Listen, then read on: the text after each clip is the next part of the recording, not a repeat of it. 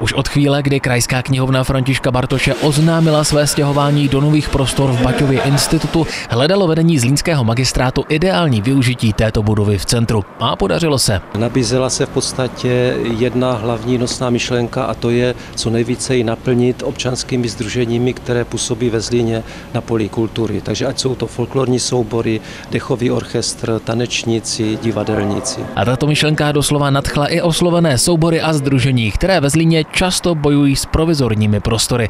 Mezi takové patří i slovácký soubor Vonica, který se řadí k nejstarším na Moravě. Záměr eh, města Zlína udělat pro nás zázemí tady v této budově je vítán s obrovským aplauzem a potleskem. Já si myslím, že eh, tahle ta budova opravená moderně a tak, aby vyhovovala našim požadavkům, které potřebujeme pro svou práci, věřím tomu, že by přinesla další, další mladé lidi k tomuto nádhernému koníčku. V budově bývalé knihovny by měl vzniknout také tzv. Family Point, což znamená zázemí v podobě hracího koutku, místnosti k přebalování a nakojení dětí a možnosti získání informací o aktivitách pro rodiny a možnostech trávení volného času. V tuto chvíli žádáme o stavební povolení, takže pokud bychom vysoutěžili firmu během podzimu, tak bychom mohli na jaře nebo v měsíci lednu začít se stavbou.